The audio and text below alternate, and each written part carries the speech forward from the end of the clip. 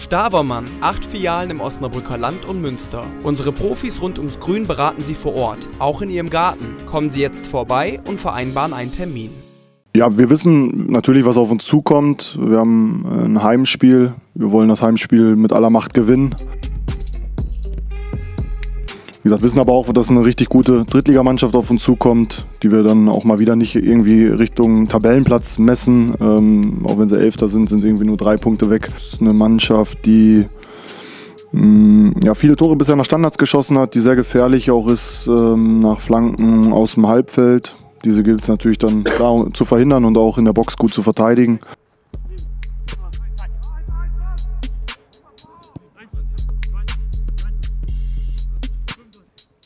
Glaube, eine sehr physische Mannschaft. Im Großen und Ganzen äh, fokussieren wir uns eigentlich dann auf uns und ähm, ja, Videoanalysen werden dann noch kommen und ähm, so werden wir uns dann dementsprechend dann auch vorbereiten. Wenn wir, wenn wir geduldig sind, wenn wir ähm, Ruhe am Ball haben, wenn wir gut in Ballbesitz strukturiert sind, ähm, das sind, sind alles Dinge, auf die es ankommt. Äh, wir müssen sehr, sehr präsent und sehr, sehr, sehr, sehr gut bei Standards A verteidigen und B dann auch natürlich unsere Chance in diesen Phasen suchen. Wir haben jetzt zwei, in den letzten beiden Spielen zwei Tore nach Ecken gemacht.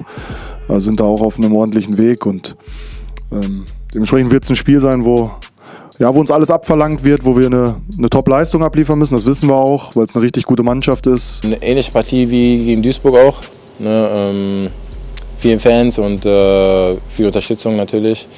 Ja, Flutlicht halt, ne, ist auch schon was Geiles und ähm, ja, dass wir einfach gucken, dass wir unser Spiel da fortsetzen und äh, dass wir die Fans mitnehmen und ähm, ein gutes Spiel abliefern. Wenn man gewinnt, dann schaut man auf den Samstag ein bisschen einfacher. Das war diese Woche auch so. Ja, aber ich glaube, sonst, man darf da nicht zu viel auf die Tabelle schauen, weil irgendwie vor zwei, zwei drei Spieltagen bist du auf einmal nach einer Niederlage Siebter. Jetzt bist du wieder Dritter gewesen, dann Vierter. Also ist, im Moment ist noch so eng, da darf man gar nicht so viel drauf schauen. Nichts Schöneres als ein Sieg und dann jetzt auch nach so einer kleinen Niederlagenserie war es dann auch mal wieder wichtig, auch fürs eigene Gefühl dann mal wieder drei Punkte zu entführen. Gute Stimmung hatten wir dann wieder im Bus und ähm, dann ist man wieder locker ein bisschen drauf. Ne?